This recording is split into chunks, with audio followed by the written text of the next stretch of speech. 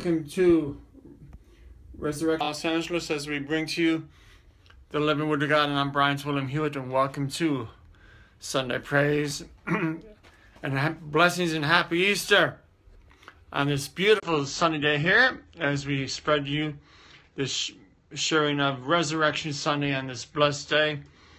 And again, uh, I'm Bryant William Hewitt. We're going to be just jumping into the word very quickly here and just getting the day going and on this beautiful festive holiday weekend.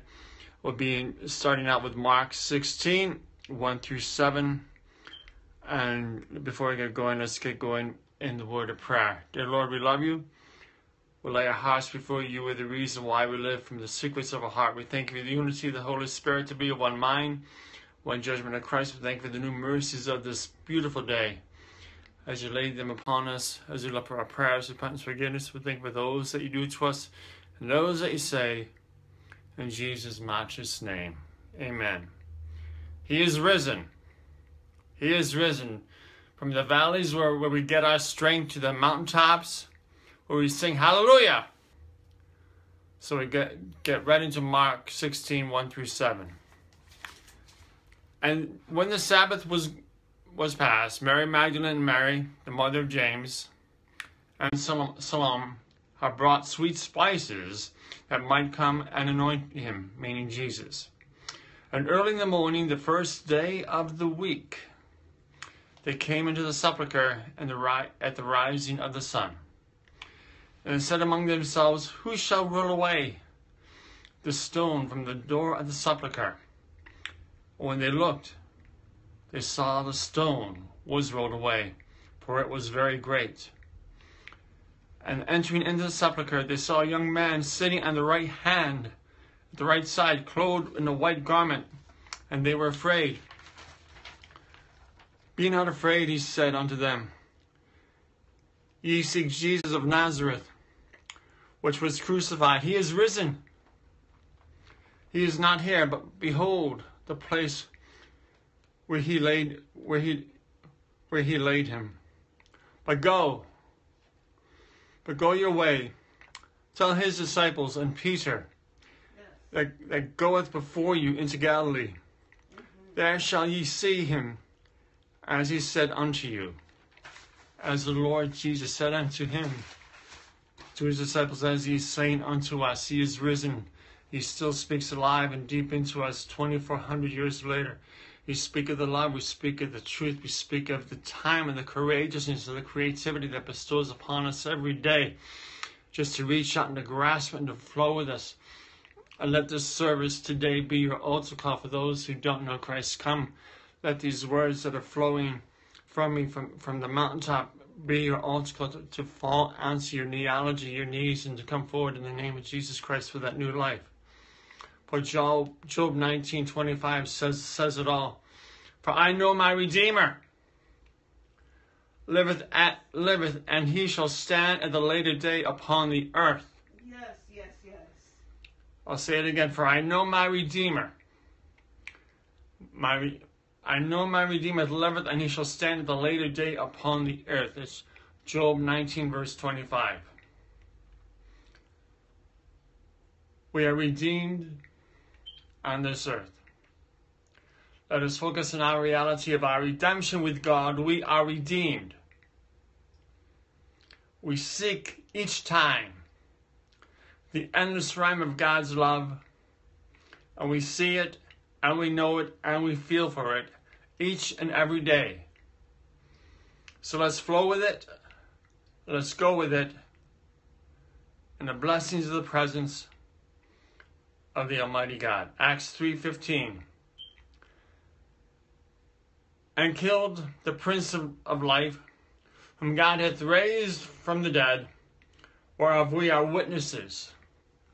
We are witnesses because we have the Holy Spirit living deep inside of us. We are witnesses because we have that unmatchable, unshakable truth, that fire burning deep inside all of us right here and right now. We seek that time we seek that love. We seek that presence going deeper and deeper into our lives, into our foundations, ever so much of that strength. Romans 6 4. Therefore, we are buried by the baptism unto death, that like as Christ was raised from the dead by the glory of the Father, even so we also should walk in, into the newness of life. Walking into the newness of God's life. Walking into that new life, throwing away the old stony heart that God's turned into dust, and receiving that new heart as prophesied in the book of Ezekiel. Giving that time, that new life of grace. We're moving into this time right now, brethren. Right now. We are seeking a love and a world that wants to replace love with hate. We have so many terrorist attacks going over the world that it's becoming almost common. 68 children were killed two days ago out of a total of 126 killed in a bus attack.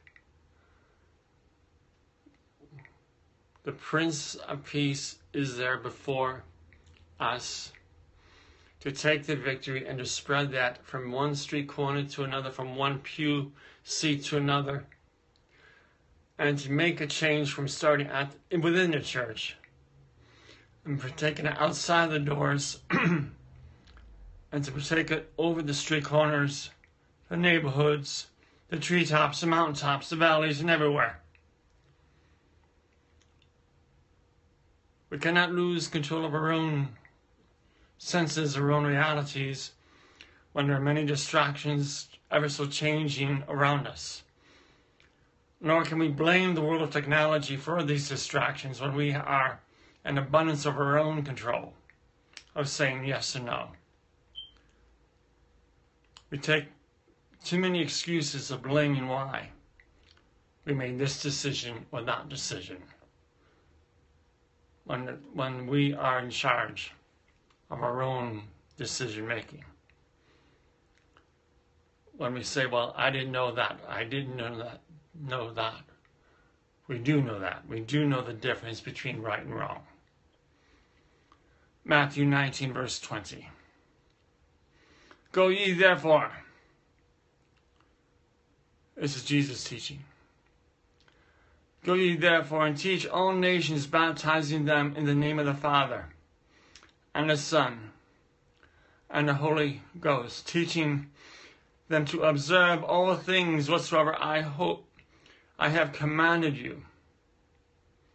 And lo, I am with you until the end of time, the end of the world.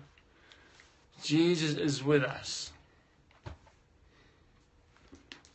until the end of time, brethren. When he takes a good third of us home and takes us to the land of eternity, the land of milk and honey. This is your time, your love, your embrace.